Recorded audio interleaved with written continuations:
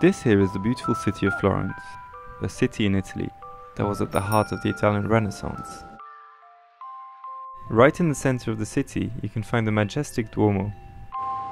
It's so majestic, in fact, that this time lapse doesn't do it justice. I remember asking myself, how on earth can I get a better shot of this?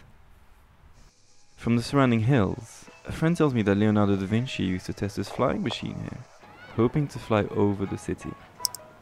This gave me an idea.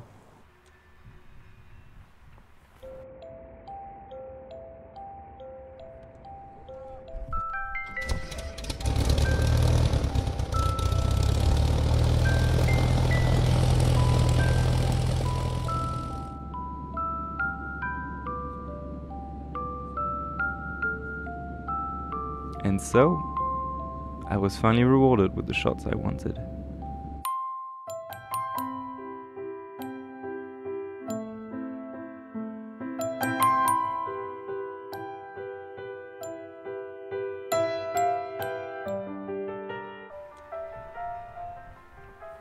And that brings us back here, where once again I'm asking myself,